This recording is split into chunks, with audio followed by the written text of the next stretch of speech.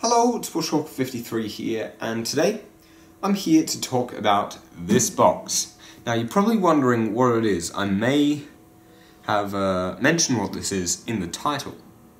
But what this is, is a little box that I take with me in the car when I'm geocaching. It's an old metal toolbox that I found rusting away in the shed, and what I've done is I've just spray painted it in camouflage paint, just uh, geocaching style, pretty much. And um, what's in here, let's open this up. You may not be able to see, I'll just reposition the camera, but pretty much this is a kit full of things that I may need when I'm out geocaching. Okay, so from this angle, you can see inside the kit a lot better. Pretty much what's in here is a collection of things that I feel that I may need when I'm out in the field. Uh, things that I can help replace or repair geocaches with, uh, just to lend a helping hand. I've also got a few other things in there uh, that will help me, so I'm going to spread this stuff out on a table and I'm going to go into detail on what these things are and why they're there. So I'll see you shortly. Okay, so you can see that I've laid all the stuff out on the table now, uh, and I've organised them into little sections. I've got geocache containers, I've got geocache uh, maintenance, I've got swag and trackables, and then I've just got tools of the trade. So, I want to go into detail uh, into each of these items, so stay tuned. Okay, so here we have a selection of geocache containers that I take around with me. Uh, now I take these around with me just in case I'm out and about and I find a really, really nice park that nobody's hidden a geocache in. And I might hide one of these for myself. Another instance, and probably one of the most common instances that I'd use these, is if there's another geocacher and they may be on a holiday overseas or interstate and they're not getting back for a few months, and one of their geocaches goes missing or gets severely damaged. Uh, now, instead of having that geocache get disabled and then possibly archived at a later date, I'll do a good deed and replace them. Um, so, these containers, various different sizes, uh, they're all pretty good containers. Uh, so, first off, this Tupperware one, um, well, it's actually a Sistema container. It's a brand from New Zealand. You find them in New Zealand and Australia. Uh, not sure if you get them anywhere else. But pretty much like a Tupperware container. Nice, good seal on there. Clip lock. Uh, fairly cheap, just find them in the supermarkets. And I spray painted that in camouflage colour. And inside there, I keep a whole bunch of micro logbooks. And I downloaded these from a website and then you just cut them out and staple them together. It's a really handy website. They've got a variety of different sizes, so I'll put the link down in the description where I got those from, because they're very good. Next, I've got just an average key hider. Uh, these aren't very waterproof, but if you hide them properly, uh, like under a scoreboard or under a bench, they're very, very good because they have inbuilt magnets that tend to be very strong. Inside here, just have a little logbook there. I've put an official geocache sign on there just to uh, keep it quite nice. I was actually going to hide that for myself once, but there was a puzzle final too close. Next, I've got a big metal container from the Osmega. It's got a nice rubber seal around here, and uh, a lot of space inside there. You can fit some small swag, logbook, and other items. There's also this container that I bought at the Osmega, and uh, this one is pretty much bomb-proof. You can drive a car over this no problems. It opens at both ends, but it's made out of such solid metal. And uh, also, I haven't tested this, but these are actually meant to be very, very waterproof too. Uh, they've got a little rubber seal here on each end. Um, but the person who sold it to me uh, at the stall said that he actually tried this uh, in a swimming pool or a glass of water or something and left it down there for about a day and no water got in. So uh, haven't tested him on that, but uh, I might do that. Then I've just got your normal magnetic uh, Groundspeak standard nano. And uh, just a little rubber seal here, tiny little logbook inside. Very easy to hide, uh, very difficult to find, and they definitely be uh, very creative when hiding these. So that finishes it up for the geocache containers. Let's move on to the geocache maintenance materials. Okay, so now we get on to our geocache maintenance materials. Now, geocache maintenance is really the reason why I created this kit. So many times I've been out geocaching and I've seen a geocache with a damaged or wet logbook or a pen that doesn't work Ziploc bag that's been all torn up, or even a crack or a hole that can be fixed with some electrical tape. So, pretty much just compiled a bunch of materials that uh, can be pretty handy, mainly for signing the log. So, first, I've got this electrical tape, as I explained before, great for fixing any uh, cracks or holes in the container uh, if you don't have a replacement for it. This is just always good to uh, do it up, keep it waterproof. Duct tape will work too. And uh, yeah, that's always very handy to have around. Next off, I've got a very large collection of pens. Um, in a cold climate, pencils are probably better, uh, but here it never really gets below freezing, so there's no chance of the uh, ink freezing up. And uh, yeah, it's just a lot easier to maintain than pencils that need to be sharpened every now and then. These just sort of leave them there and forget. Uh, quite a few times you come across geocaches that either don't have writing implements in them or uh, it's broken. So these are always handy just to uh, keep in the geocache in case anybody's forgotten uh, to bring a pen or a pencil. Next up, just got a Ziploc bag full of Ziploc bags. Pretty handy way to store them. Just the miniature size, I find that works well for uh, the majority of logbooks, and it'll fit in mint tins, and it'll also fit a uh, large notepad sized logbook. Any logbook bigger, uh, it's a bit more difficult to find those sorts of Ziploc bags, but I just keep these small ones here. Next off, I've got notepad after notepad after notepad. I've got tons and tons of these, even a packet of these uh, groovy little multicolored ones. It's always good to have quite a few of these. Uh, for a while, I was actually using notepads to write down the list of which geocaches that I'd found in that day. Uh, now I type them out into my phone.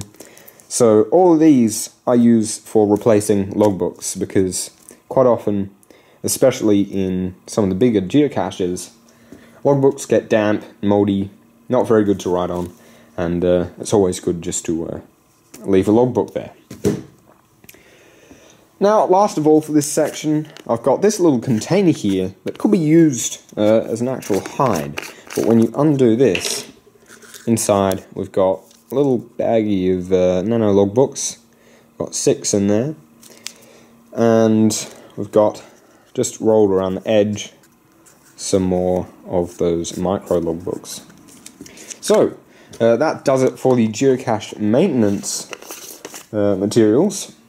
Next, I'll go on to trackables and swag. Okay, next up here we've got uh, the trackables and swag that I was talking about. And so in this box, uh, I don't really trade much stuff anymore. Uh, when I first started the channel, I was quite into just trading something from each and every geocache as a bit of a souvenir but after I've found over a thousand, uh, my bedroom would probably be absolutely full of toy horses and dogs and cars and little things like that. So now I only trade if I'm going to take a travel bug or two, or unless I find something really, really cool. So, what I've pretty much got here, uh, haven't really traded these much, just got them a few months back. Little miniature highlighters, uh, quite a few people like stationary items and geocaches, I've heard. Uh, so I got a few of those, just one packet, and I uh, got two of those left. You can see I don't really trade much, that's lasted me for many, many months.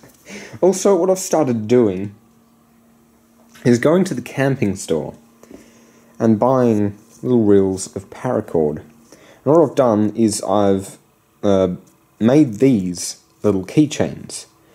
Uh, they're quite quick and easy to make. They take about uh, 5 to 10 minutes each. I've put a keyring on the end, and with a rubber band, I've attached a laminated card just with my uh, geocaching name on it.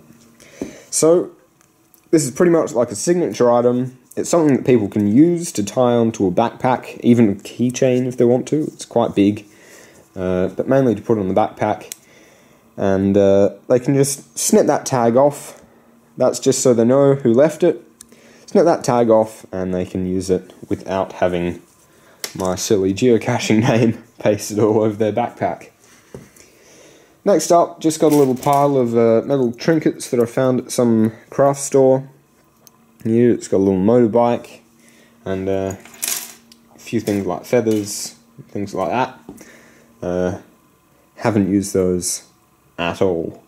I don't think I'd get them again because uh, they're just sort of a bit small and not really worth trading for. So I've decided not to leave them there uh, in any geocaches. But here I've got two little sleeves for geocoins. Uh, these actually belong to geocoins of my own that I have in my bedroom. But I'm never going to send those around the world, so instead I'm keeping these uh, in case I find a geocoin that's in need of a little protective sleeve uh, that might be getting a bit damaged, and so I'll put them in one of these. I'd probably take that little card out before I did so. Uh, but yeah, that's that. I've got this mint tin over here, I forgot to put that in the shot. Actually, it's got a whole bunch, whoa, a whole bunch of uh, copy tags for my travel bugs. Now I've sent quite a few travel bugs out into the wild. It's getting quite uh, thick, a large amount of these. Uh, but I'll just put these in the mint tin to keep them all safe in one place. Last of all, this container here, it's probably one of the most handiest things I have in this kit. It's where I keep all the trackables that come into my possession. It's pretty much my inventory of travel bugs. So at the moment, it's just got three of my own in there. Uh, I haven't got anybody else's at the moment. But I started using this after I accidentally misplaced somebody's geocoin in the house for about two weeks and I felt so bad because I got this geocoin, and then a day or two later, we did this big cleanup of my bedroom. Just sort of got rid of a whole bunch of stuff and uh, put stuff away in cupboards and everything. And I managed to misplace this really cool geocoin, and I felt so bad. Like I was looking absolutely everywhere, and I couldn't find this thing.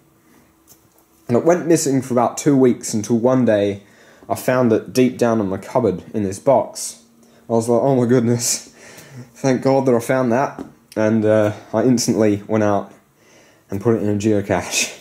and uh, after that experience, very, very stressful, very awkward. Don't want to do that again. So whenever I get a travel bug, I put it in here. It keeps it all in one place, and I keep this in the car in the container so I know where every single travel bug that I've got is at uh, at all times, so I don't manage to misplace one. So at the moment, just got a few of my own. There's a little Oreo geocoin. Not going to show you the troll code. I've got a little Groundspeak Lego Man. And one of my first travel tags that I got is this little guy, Snowman.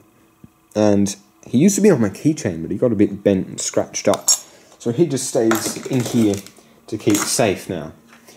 So that's the end for the uh, trackables and swag. The last section that I'm going to go over is tools of the trade.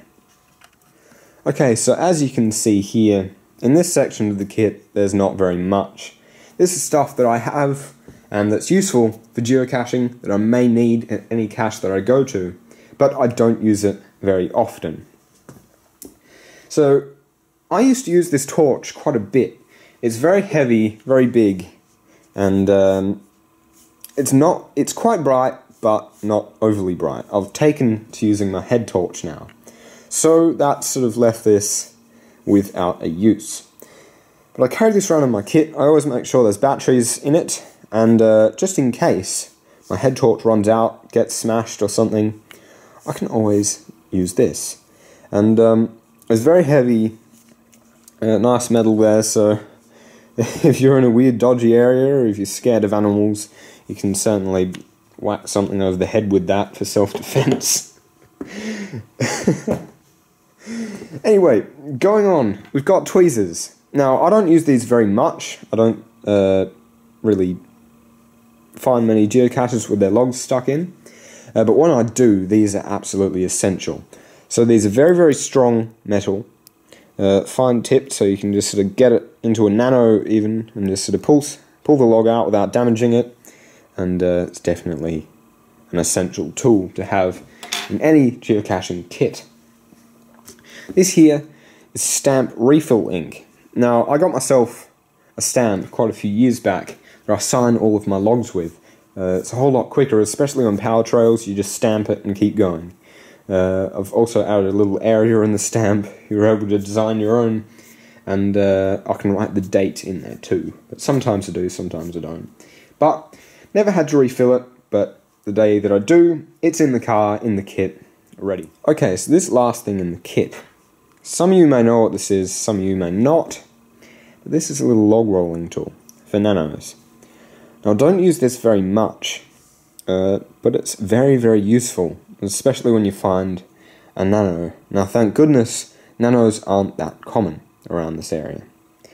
But when I do find one, these are very useful to have. What you do, you might be able to see this, there's a little slot down the side, and you slot the paper in, and you just sort of give it a bit of pressure with your fingers, and then just roll it, roll it, roll it, roll it, roll it, and soon enough, you would have rolled the log really nice and neat. You just pull it off the top, put it back in the geocache, and there we go. And so you don't have to stand around for eight years trying to roll a nano log. It's especially good when you've got cold fingers. When it's cold outside, uh, your fingers are a bit numb, can't really control them as well as you used to, and um, yeah, it's just great to have around. Okay, so last off, I thought I'd just show you uh, a close up of the inside of this box. Very, very strong metal. And uh, what we've got here, we've got two main compartments, uh, compartments divided up. I've painted the inside as well just to stop rust. Um, so these I keep mainly the big torch, uh, the containers, all that sort of stuff. And up here, uh, you may not be able to see those as well, but we've got little divided tray here that uh, moves when you open and close the lid. And that's where I keep most of the small stuff and the logbooks. Uh, so yeah, very handy, keeps stuff organized, and uh, doesn't roll about when you're driving along. Also, you may have noticed inside the lid here, got a few stickers that I've picked up along the way. Keep calm and find the geocache. There's a geocaching logo. Got a GoPro sticker uh, that came with my GoPro camera and then the Windows sticker from the Osmega 2014 that gave us access to uh, go to and from the uh, showgrounds. Okay, so thanks so much for watching guys. I really hope you enjoyed this video.